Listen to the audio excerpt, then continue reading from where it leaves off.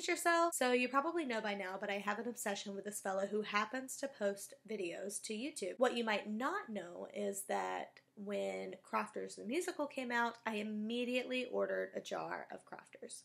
If you follow my Twitter feed, then you know that when it was delivered to my doorstep, it was also stolen by some teenagers in the area. So I had to order it again. But this time when I ordered, I was diligent about checking that tracking number every day and knowing exactly where my package was.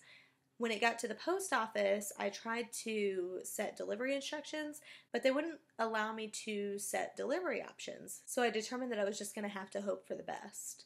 Then I woke up this morning and looked at the tracking number, and it said the package was out to be delivered and should be delivered by 8 p.m. And I was super excited because I don't have to go to work today. I can come home whenever I need to to get this package. So I continued to check the tracking number throughout the day. By 4:30, it still had not been delivered. So if you know anything about my family, or if you recognize the shirt, or if you follow my Twitter feed, then you know that my sister was diagnosed with leukemia at the end of December. So that's been a really big struggle for our family this year. But some people who live in the neighborhood with my parents recognized that struggle and uh, decided to throw a block party to raise awareness for the struggle that they're going through. So obviously my presence was requested and you better believe I wasn't going to miss that. So at 4:30, I left, headed towards my parents' house, and even though the package hadn't been delivered, I just said a quick prayer, and by the time I got there, I kind of forgot about it.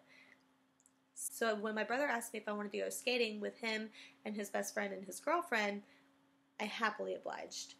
Because another thing you might not know about me is that I love skating. I didn't start until I was an adult, so I'm not very good at it, but I enjoy it. One thing I did not know about myself is that as I get older, my joints don't enjoy it as much. But that's a story for another day. After we went skating, we went out for ice cream, and my brother's girlfriend asked me when my jam was supposed to be delivered, which is when I remembered that it was supposed to be delivered today.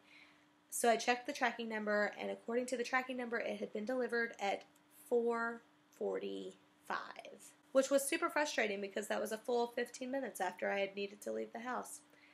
But there was nothing to be done at that moment, so I just took my brother's girlfriend and best friend home. I took my brother home and chatted with my parents for a bit, and then I headed to my house. But on the way home, I said several quick prayers, hoping that the package was still going to be there when I got there. I was preparing myself for the idea that it wouldn't be, but I was hoping that I would come home and find it on my doorstep.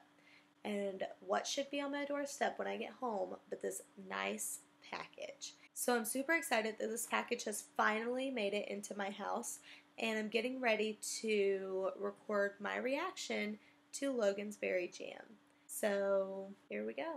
I'm ready to try just a little bit of Logan's Berry on the spoon and then I will try the Logan's Berry toast. Here goes nothing. Oh my gosh. It's actually really good. So, like I said, I'm not usually a jam person. That's really good.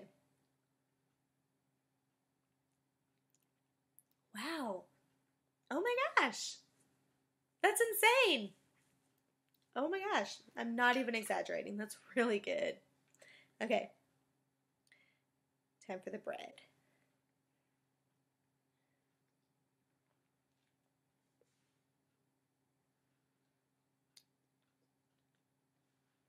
So it has just the right amount of sweetness to it, but then also I was expecting a different texture and it was it was not a good texture that I was expecting. But instead I'm getting a texture that is actually very pleasant. So this is pleasantly surprising actually. I'm I'm really excited about this. I think for a time I was worried because I've been waiting for this for so long that I was worried it wouldn't live up to what I was hoping for, but no, it really does. I really enjoy this. So I can't lie, now I really want to see Roman get his own flavor. And I wouldn't mind seeing Virgil and Patton, and maybe even Deceit, getting their own flavors as well.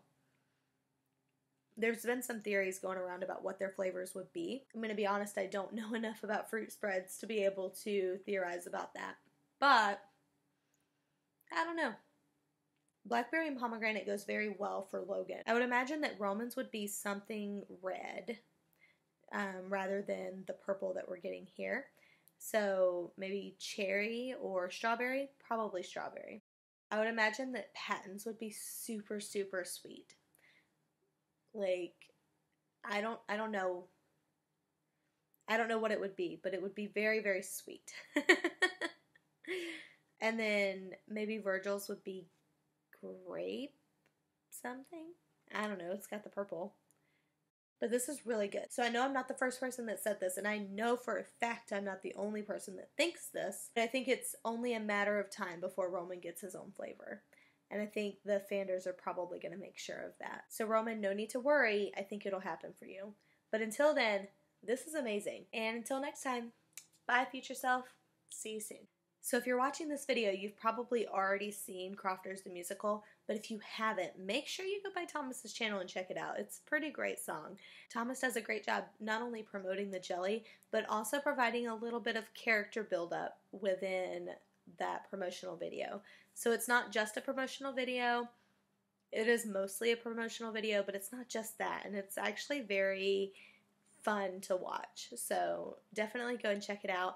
And then while you're there, check out all of his other things because, in all honesty, his content is gold. So you should check it out. And I'm not just saying that because I'm obsessed, but check it out. While you're here, if you like what you're seeing, just like, comment, subscribe, and I'll see you next time. Bye, future self.